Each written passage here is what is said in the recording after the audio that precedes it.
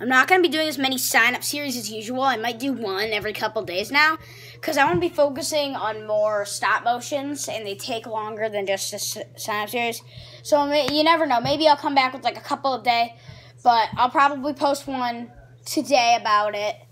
And I'm also upstairs in my house, so that's why it's wood flooring and not carpet that you're that you're looking at here.